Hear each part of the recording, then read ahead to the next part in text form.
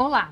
Brasil, Uruguai e Camarões foram premiados pelo Fundo das Nações Unidas para Agricultura e Alimentação, FAO, por causa do progresso na luta contra a fome. O país também tem se destacado na prevenção e controle da obesidade e na oferta de alimentos saudáveis para a população. No NBR Entrevista, recebemos Arnoldo de Campos, secretário nacional de Segurança Alimentar e Nutricional do Ministério do Desenvolvimento Social e Combate à Fome. Olá, secretário, muito obrigada pela sua presença. Olá. Bom, para a gente começar, o Brasil saiu do mapa da fome. O que isso significa na prática? A gente não tem mais pessoas passando fome aqui no Brasil? É isso? Não, não é exatamente assim.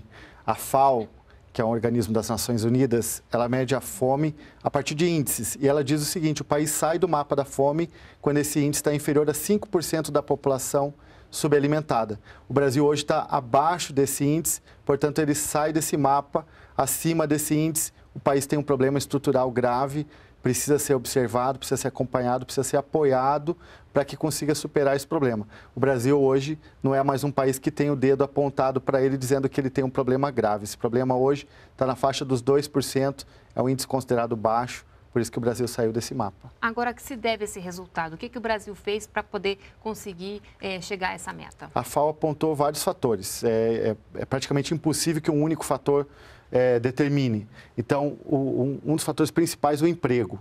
O Brasil é um país que tem alto índice de emprego, ele consegue fazer com que as pessoas tenham carteira assinada cada vez mais, a renda aumenta. O salário mínimo, que teve aumentos reais acima de 70% nos últimos 10 anos, também contribuiu muito para que as famílias tenham acesso à alimentação. As políticas de transferência de renda também colaboraram. É o caso do Bolsa Família, que atinge um percentual importante da população. Programas como o de alimentação escolar. 43 milhões de alunos da rede pública se alimentam todos os dias nas escolas. Ou seja, um conjunto de ações que passa pelo trabalho até programas, políticas públicas, permitiu o Brasil ter esse resultado extraordinário em um curto espaço de tempo, reduzir tanto é, a fome, a desnutrição, a subalimentação no nosso país. Agora, o que, que representa essa premiação dada pela FAO, esse reconhecimento ao esforço do Brasil? O que, que isso representa?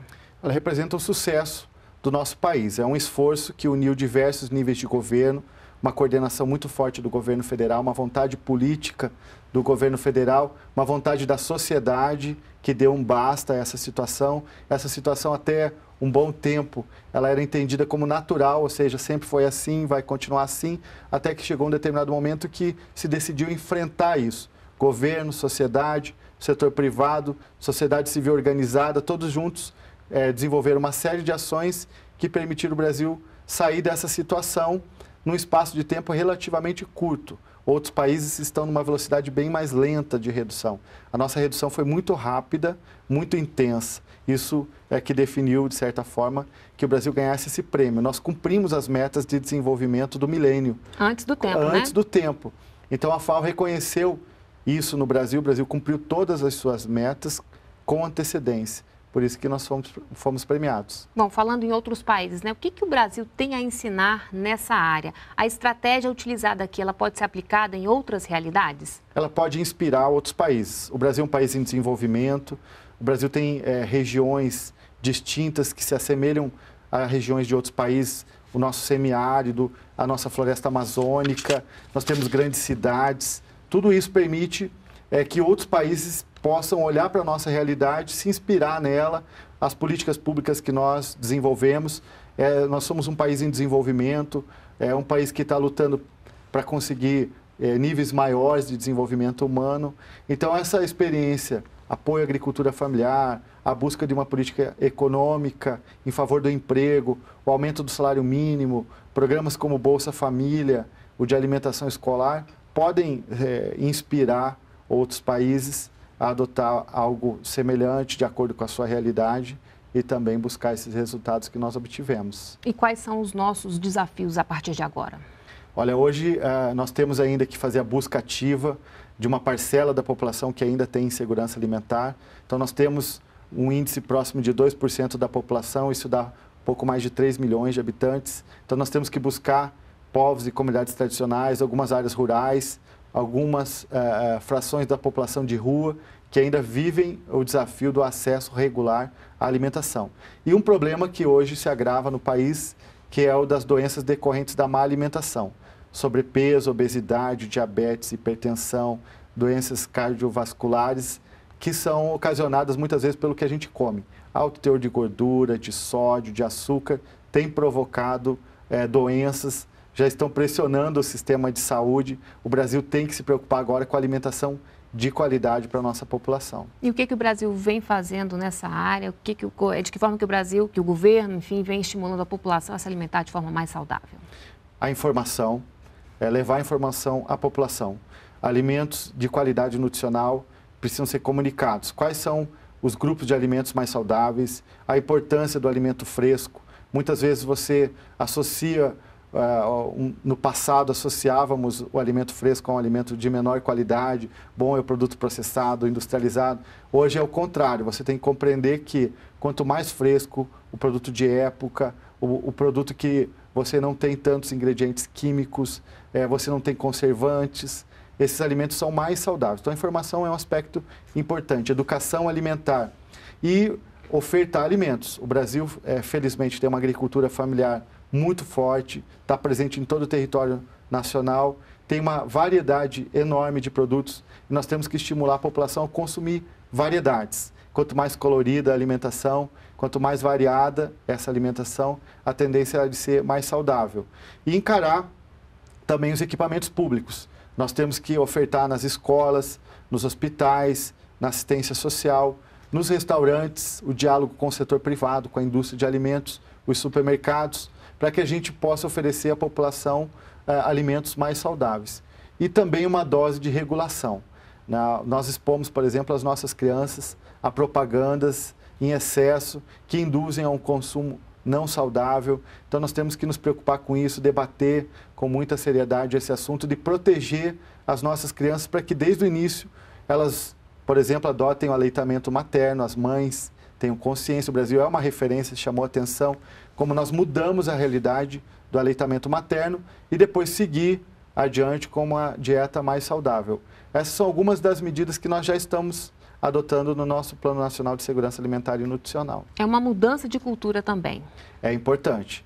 É, nós é, temos uma população que passa a acessar os alimentos, mas ela trabalha o dia todo, ela se alimenta fora de casa, ela tem pouco tempo para preparar o alimento. Isso acaba induzindo a uma alimentação não saudável. A comida pronta, a comida que você coloca no micro-ondas, a comida rápida, o lanche rápido, é, não se dedicando a preparar os alimentos então, trocar hábitos, melhorar a cultura e principalmente as pessoas terem consciência é, do que tem naquele alimento. Muitas mães não sabem o que significa o refrigerante, aquele suco que parece saudável, néctar, por exemplo, com esse nome parece algo muito bom, mas não é, está cheio de açúcar. Então nós, nós temos que compreender e levar a informação à população para que ela possa escolher. Ela sabendo, é, em geral, as, as escolhas são mais conscientes, são mais responsáveis tendem a, a, a ter melhor qualidade nutricional. A obesidade preocupa hoje no Brasil entre adultos e entre crianças? Preocupa muito. Hoje é um problema muito maior do que a fome. 50% dos adultos, por exemplo, têm sobrepeso ou obesidade. Esse índice chega a 30% entre as crianças. Então já é um problema extremamente grave na sociedade brasileira, o que acaba implicando em má qualidade de vida, é, doenças. É, muitas vezes as pessoas enfrentam graves problemas de saúde em função desse, dessa alimentação inadequada. Bom, secretário, você citou o Plano Nacional de Segurança Alimentar e Nutricional. Em que estágio está esse plano? Nós fizemos o primeiro plano recentemente, agora estamos finalizando a primeira etapa desse plano. 2015 é o ano em que nós vamos lançar o segundo Plano Nacional de Segurança Alimentar e Nutricional. Uma oportunidade para ajustar. A estratégia do primeiro plano era muito mais o acesso à alimentação. O Brasil estava combatendo a fome, promovendo o fim da fome, como nós alcançamos, agora a ênfase deve ser maior na alimentação saudável. Desde a produção, nós precisamos da agricultura familiar, de produtos agroecológicos, de produtos saudáveis e alimentos frescos, a distribuição desses alimentos, os preços dos alimentos, o acesso a alimentos saudáveis. Esse é o desafio. E também uma vida mais saudável. Exercícios, caminhadas, disponibilizar mais equipamentos para que as pessoas possam, em áreas públicas, praticar exercícios para que a, a, obesidade, o sobrepeso, a qualidade de vida também possa ser em função da prática do exercício físico. Alimentação melhor, exercício físico, a, a vida fica mais longa, o sistema de saúde menos pressionado, qualidade de vida. Essa é a tendência é, de ações para o próximo plano de segurança alimentar e nutricional. E quem é que está costurando esse plano junto com o MDS? São 19 ministérios é, que têm ações, diferentes ações, desde a agricultura até a indústria, por exemplo, ciência e tecnologia, desenvolvimento agrário. Nós também temos os estados, os 27 estados fazem parte dessa estratégia. O Brasil tem um Sistema Nacional de Segurança Alimentar e Nutricional. Os municípios, é lá que as coisas acontecem. Então, a sintonia com a sociedade civil organizada, as organizações, os movimentos sociais e o próprio setor privado. O plano ele prevê ações para todos, a participação de todos, para que a gente possa enfrentar de forma abrangente. É uma marca do Brasil, trabalhar de forma intersetorial. Não tem uma solução em uma caixinha ou em um ministério ou só no governo federal. É, é fundamental mobilizar a sociedade. Nós conseguimos acabar com a fome porque a sociedade se mobilizou.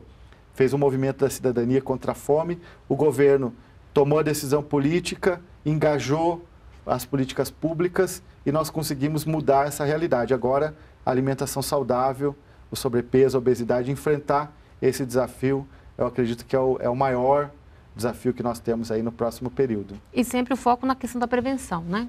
É muito melhor. Com certeza você se preocupar é, em prevenir, educar, informar, comunicar, ações que disponibilizem. Nós hoje, por exemplo, temos vazios, nós chamamos de desertos alimentares.